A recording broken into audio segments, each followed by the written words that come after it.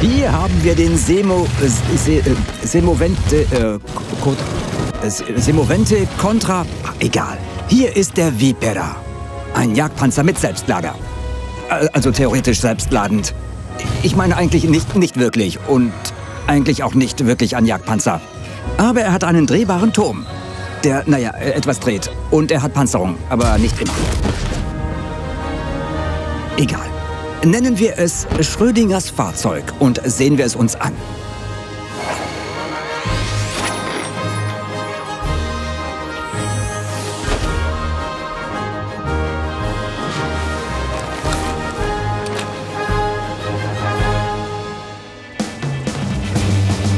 Das Fahrzeug rollt.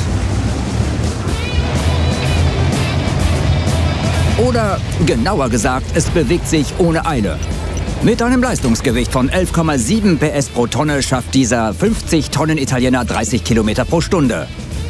Das ist schnell genug, um bis zum Gefechtsbeginn die Flanke für schwere Panzer zu erreichen. Auf kleineren Karten erreicht er vielleicht sogar die entfernte Flanke, wie die Burg in Himmelsdorf oder die Stadt in Lakeville oder die Bahngleise in Live Oaks. Ihr kommt natürlich eher spät ins Gefecht, aber genau dann, wenn es richtig losgeht. Aber es ist wichtig, nicht anzuhalten. Denn die Vipera würde sich zu gerne für zusätzliche Tarnung in jeden Busch auf ihrem Weg einrollen.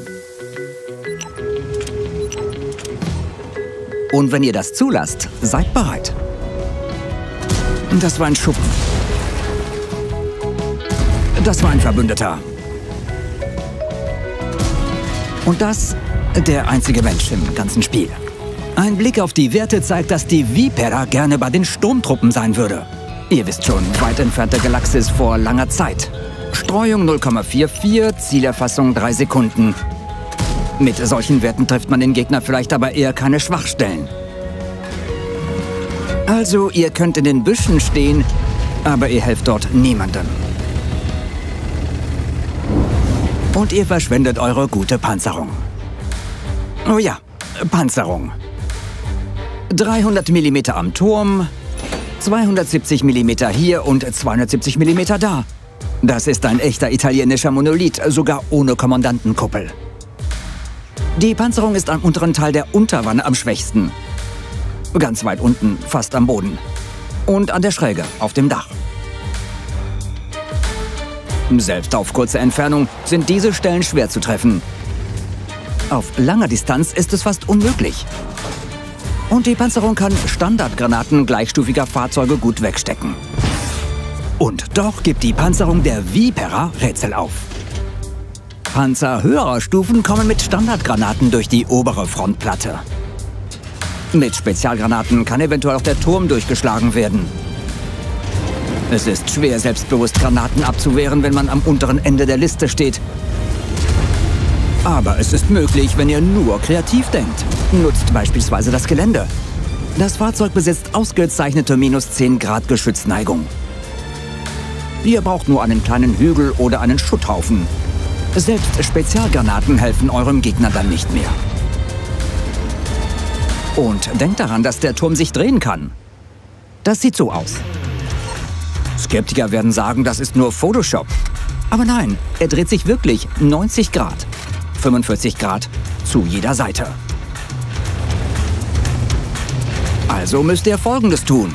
Dreht den Turm so weit zur Seite wie möglich. Kommt hinter der Ecke hervor, wehrt die Granate des gefährlichen Stufe 10 Panzers ab, feuert und rollt zurück in die Deckung. Äh, bringt dabei nichts durcheinander. Erst vorrücken, dann schießen. Um den Angriff möglichst glatt ablaufen zu lassen.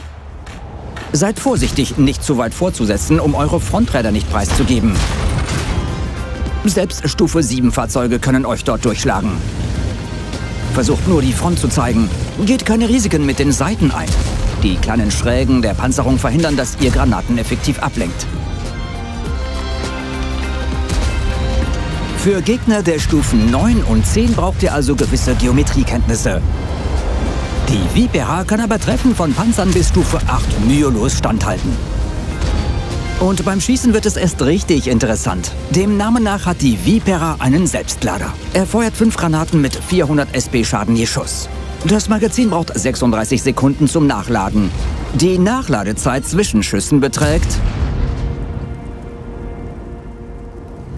6 Sekunden. Ja, nicht wirklich ein typischer Selbstlader. Deswegen solltet ihr nicht nur feuern, sondern auch denken wie ein zyklischer Panzer. Ein guter zyklischer Panzer. Nein, ein hervorragender zyklischer Panzer. Probieren wir es mal aus, dann könnt ihr selbst sehen. Ein normales klassisches Duell. Suchen wir einige Gegner mit ähnlichem Schaden je Schuss und hervorragendem Schaden pro Minute.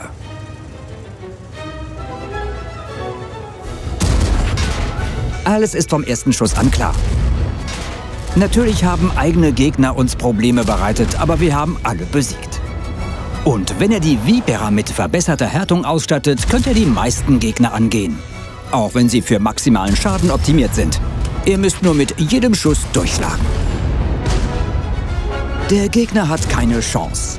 Alles dank unseres tollen italienischen Selbstladers. Er teilt bis zu 2000 SP Schaden in 24 Sekunden aus. Nichts kann ihm im Weg stehen. Weder Betäubung durch Artillerie, noch ein beschädigtes Munitionslager oder ein verletztes Besatzungsmitglied. Er braucht immer sechs Sekunden zwischen zwei Schüssen, also ist jeder Stufe 8 Panzer ein potenzieller Abschuss für eure Gefechtsergebnisse. Selbst in normalen Gefechten, in denen Gegner sich in Deckung begeben und vor eurem quasi Selbstlader verstecken, spielt sich das Fahrzeug angenehm und bietet dieselben Vorteile. Ihr feuert mehrere Warnschüsse ab, die Gegner ziehen sich zurück. Ihr könnt das Magazin auffüllen und nach dem Laden vorrücken. 36 Sekunden reichen, um eine Taktik zu überlegen, die Position zu wechseln und das volle Potenzial auszuschöpfen. Es gibt mehrere Möglichkeiten, die Vipera mit Zubehör auszustatten. Die allgemeine Option sind verbesserte Zielführung, verbesserte Lüftung und verbesserte Härtung.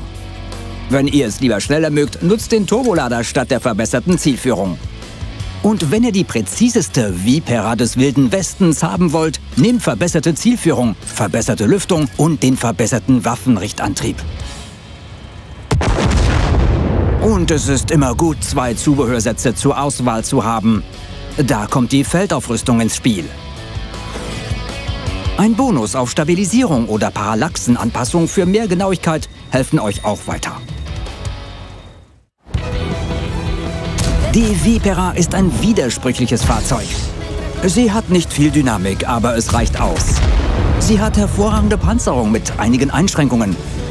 Und schließlich hat sie diesen seltsamen, aber effektiven Selbstlader, der gar nicht wie ein Selbstlader scheint. Aber selbst mit diesen Zwiespälten ist eine Sache ganz klar. Die Vipera ist ein ungewöhnliches Fahrzeug für eine besondere Erfahrung. Und wenn euch das gefällt, dann passt dieser neue italienische Panzer zu euch.